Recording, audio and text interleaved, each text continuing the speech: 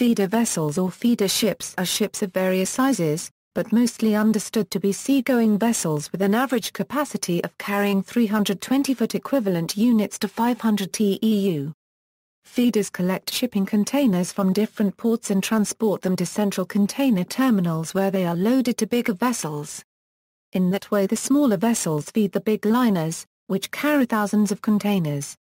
Over the years, Feeder lines have been established by organizations transporting containers over a predefined route on a regular basis. Feeder ships are often run by companies that also specialize in short-sea shipping. These companies not only ship freight to and from ports like Rotterdam for further long-haul shipment, but also carry containers between smaller ports, for example, between terminals located on the northwest European seaboard and ports situated on the Baltic Sea coastline. Great Lakes, while container shipping is currently uncommon on the Great Lakes, a proposal for shipping containers from the port of Oswego on Lake Ontario in upstate New York down the St. Lawrence Seaway for transfer to larger ocean-going ships at Melford International Terminal in Nova Scotia has been considered.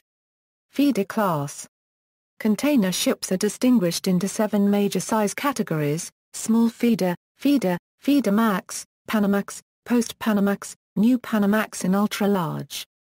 Container ships under 3,000 TEU are generally called feeders, and operators above.